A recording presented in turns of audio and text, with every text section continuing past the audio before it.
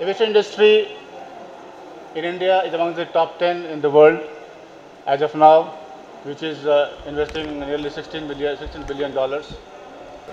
Air travel penetration in India is at 0.04. So trips per capita per annum. So a person, average person doesn't get to see aircrafts or go get into aircraft once in their lifetime. So there are a lot of opportunities to grow in this in this sector. In fact, uh, industry sector as a, as a whole, if you see, uh, has, has, has grown drastically in India, but in AP, this is surpassed the average, average uh, growth of, of India. In fact, though the base is very, very less, if I see the sector, in India, the growth of the aviation sector has gone up by 70%, whereas in AP it has gone up by whopping 59%. The, still there is a lot of scope for its growth and uh, I think is in this sector of aviation there is a lot of scope for investment and uh, AP is, is waiting for those investments.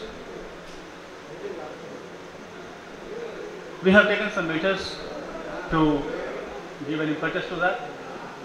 There is a general complaint that the, the, the tax on aviation turbine fuel is very high. We have now reduced from, from 16 to 1 percent.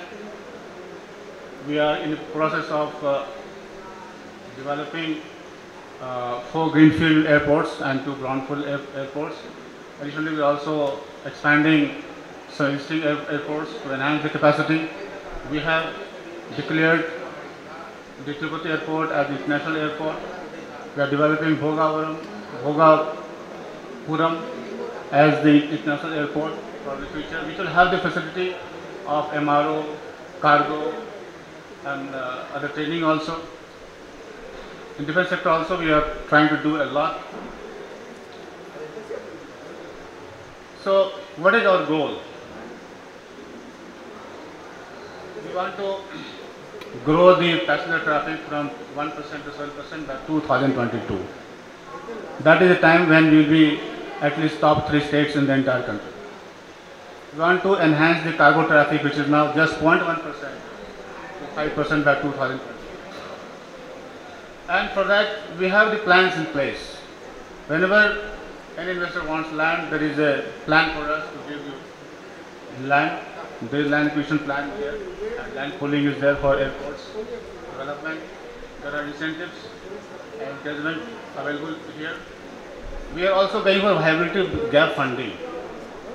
We are having some airports which are, though there, lot of money has been invested but not utilized properly. Kadapa is one such airport. We have airport in Nagarjuna there is no investment as of now.